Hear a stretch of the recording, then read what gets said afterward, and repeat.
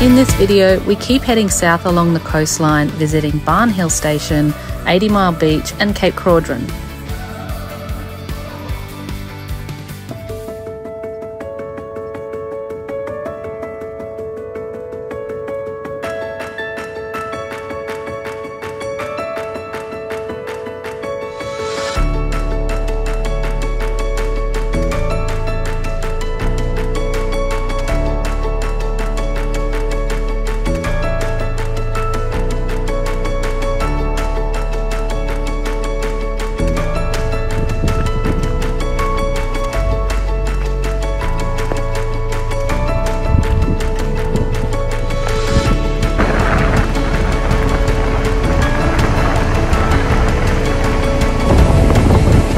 So we're at Barn Hill. We've just come for a uh, walk along the beach. This is our first full day here. It's sort of uh, afternoon now, but it's been uh, quite windy, a bit cloudy. It's our, our sort of the cloudiest day we've had in a long time actually. But um, but yeah, so Barn Hill's sort of back up there where the red meets the sea and then we're just having a little bit of a bit of a walk down the beach and yeah it's quite quite nice actually. So hopefully we'll get get the drone up. The wind sort of backed off a fraction for us so because uh, there's some really sort of cool um, sort of just the cliff faces and whatnot in it. Pretty nice so um, yeah we'll go from there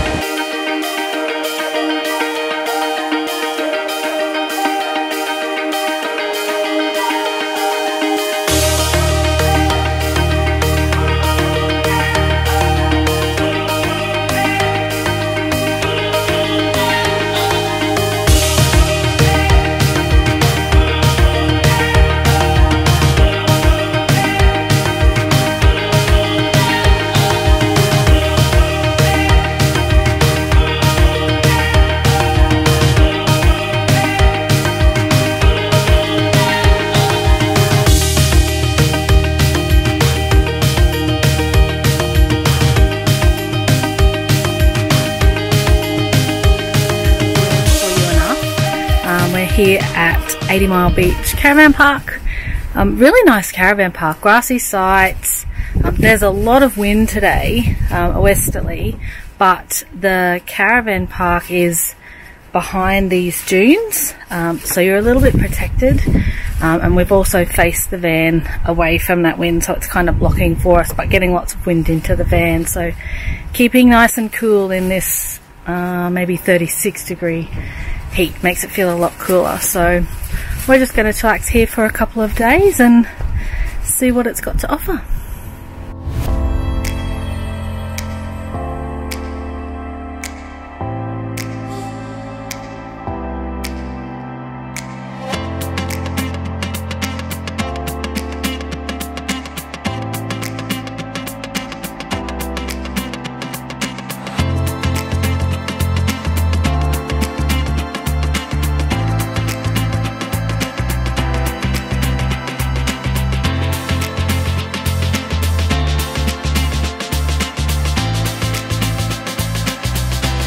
Hey, we've just arrived at our next camp, uh, Cape Keraudren, so it's looking absolutely mint behind us, and we've, we've dragged a, a, really nice spot as well.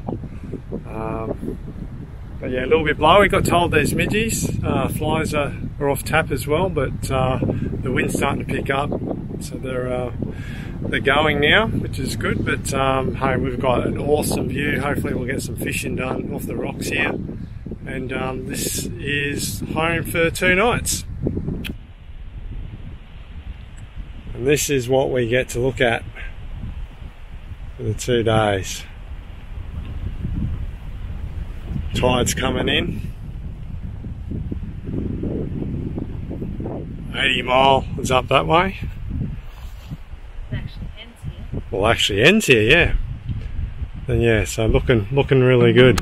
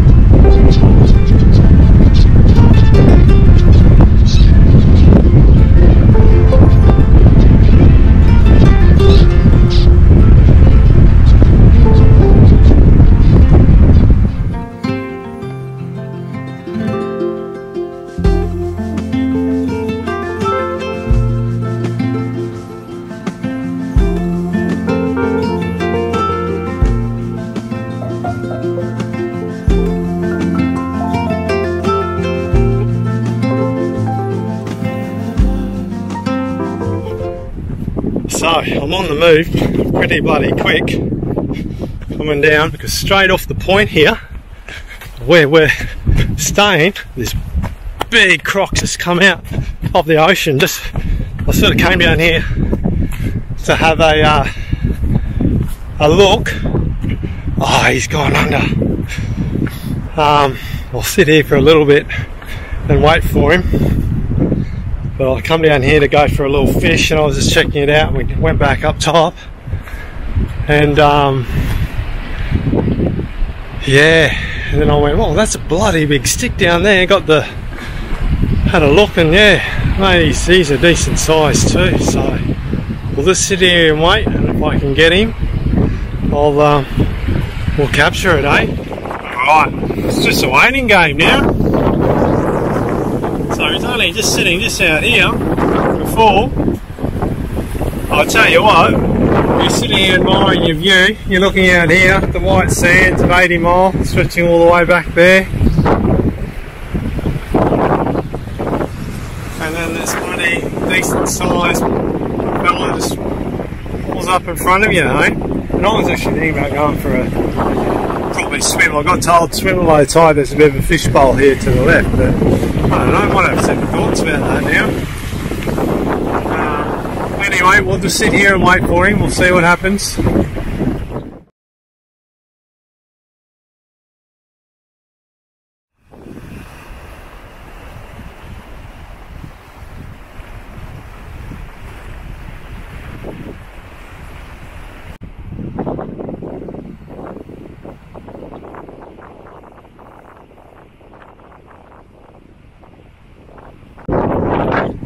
All these hollowed out bits have dried up salt in them. Andrew said that he tasted it. I'm gonna taste it.